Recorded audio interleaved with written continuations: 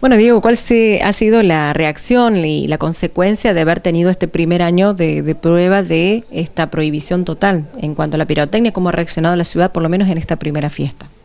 En realidad estamos muy conformes. Eh, hemos escuchado muy pocos detonaciones, muy pocas. Eh, reclamos al 103 vía telefónica no hemos tenido. Eh, y únicamente por dos o tres grupos algunos vecinos denunciaron que había gente tirando pirotecnia. Eh, pero fue muy, muy puntual y unos casos después de las 12 de la noche, después no tuvimos, no tuvimos más reclamos. Eh, así que en general en toda la ciudad se ha tirado, pero muy, muy mínimo ha sido lo que, lo que se ha tirado. Espero que para fin de año todavía superemos, mejoremos eso. Eh, pero en realidad estamos muy conformes, porque al ser el primer año que está, que está prohibido, que se prohibió la venta, todo eso, bueno, sabemos que total desaparece totalmente, por ahí es un poco difícil, porque bueno, por ahí vienen familiares de otras ciudades, de otras localidades y, pueden traer también pirotecnia. Son más de 30, barrios, eh, eh, ya es bastante grande, es muy amplia la zona para, para cubrir o controlar es prácticamente imposible. ¿eh? Eh, por eso siempre pedimos, nosotros enviamos un mensaje a los vecinos conectados a la tarde, pidiendo también que, bueno, que los vecinos colaboran. Así que también yo pienso que gracias a los vecinos, la responsabilidad de todos, por eso ha mejorado mucho. Sí, hubo todo un trabajo previo, hace dos meses nos reunimos con el fiscal, con la gente, con el ayudante fiscal, con el eh, gente de explosivo de la policía, después se hizo una charla de concientización por todas las radios y después se hizo un, trabajo de, control en unos comercios eh, y hubo vecinos también que nos ayudaron denunciando aquellos comercios que estaban vendiendo.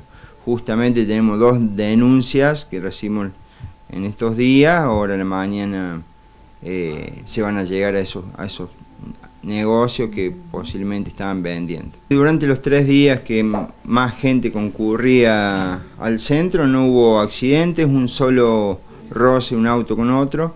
Eh, también creemos que es gracias a la participación de, todos los inspectores que eh, los controles que pusimos en el, en el centro. Así que también muy bueno por los vecinos, por la paciencia, porque estos días sabemos que todo el mundo quiere ir a comprar, anda apurado y bueno, demasiado bien, no hubo ningún, ningún choque en estos tres días. Y con respecto a, la noche del, del, 24, digamos el 25 de la madrugada, hubo un solo accidente cerca de las 2 de la mañana en Chacabuco Irigoyen. Eh, después no hubo más nada durante toda la noche y toda la madrugada estuvo todo tranquilo. Eh, el tema de los boliches también estuvo tranquilo, no tuvimos... Eh, reclamos por música fuerte en los boliches, como había sucedido el año pasado. Este año estuvo bien. Sí tuvimos reclamos por el tema música en las casas. Sabemos que últimamente se ha tomado de moda el, tema del karaoke en todas las, en todas las casas. Eh, y vos ibas por la calle y en todos lados tenían, han tenido equipo de karaoke, así que eso lo sabíamos que iba a pasar eso. Es imposible también eh, controlar toda la ciudad con el tema de la música.